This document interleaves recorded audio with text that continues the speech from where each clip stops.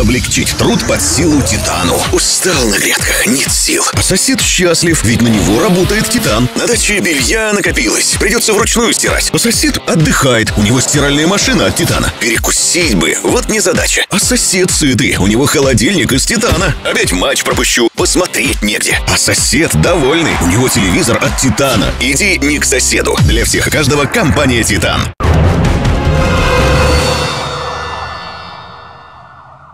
Бывший замглавы Оричевского района Ирина Николаюк предстанет перед судом за мошенничество в особо крупном размере. За время, проведенное в должности, женщина провела преступные схемы, причинив ущерб на сумму более 11 миллионов рублей.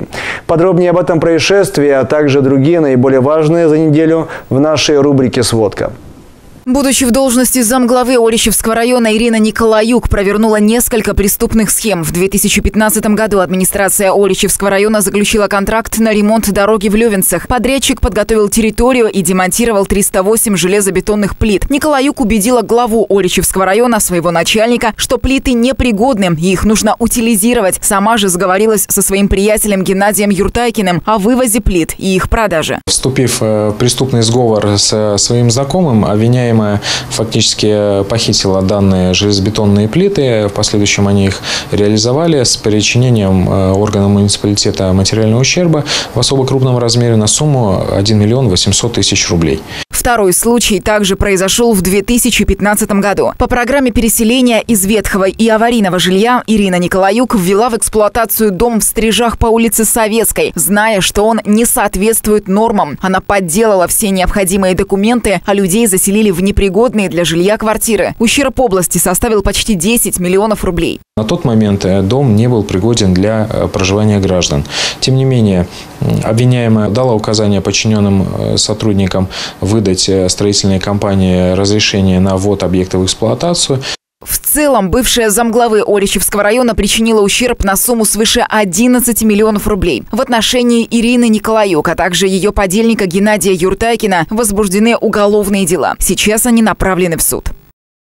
1 сентября в Кирово-Чепецке трехлетний мальчик выпал из окна квартиры на пятом этаже. Известно, что мама ушла в магазин и оставила двоих маленьких сыновей с дедушкой. В это время один из мальчиков залез на подоконник. По предварительным данным, трехлетний мальчик, играя на подоконнике, выпал из окна квартиры, расположенной на пятом этаже. После падения он был госпитализирован с травмами головы и тела. В настоящее время находится в больнице. По факту происшествия следователи проводят проверку, устанавливают обстоятельства произошедшего. После этого будет принято процессуальное решение. Есть? А если найдем сейчас?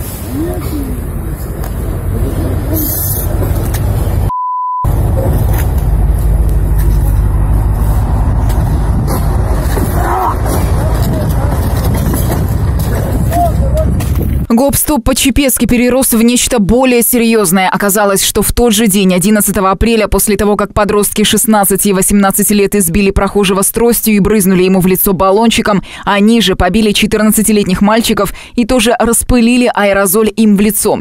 Также оказалось, что самый старший из компании малолетних хулиганов, 18-летний юноша, вступил в интимную связь с несовершеннолетней, 16-летней девочкой. Кроме того, он попался на хранение наркотиков. Вес зелья составил почти полтора грамма, что является крупным размером. По двум этим фактам возбуждены новые уголовные дела плюсом к предыдущим. Следствие продолжается. 18-летнего юношу арестовали, а его 16-летнего приятеля посадили под домашний арест. В среду, 5 сентября, вечером полиция оцепила вокзал Котельничий и прилегающую территорию из-за угрозы теракта. Пьяный мужчина позвонил в экстренные службы и сообщил, что якобы на одном из проходящих поездов находится бомба. В итоге сотрудникам правоохранительных органов пришлось досматривать все составы, проходящие через станцию. Злоумышленник попался полиции. Он признался, что так хотел задержать электричку, чтобы на нее успеть. Возбуждено уголовное дело. Алина Котрихова, место происшествия.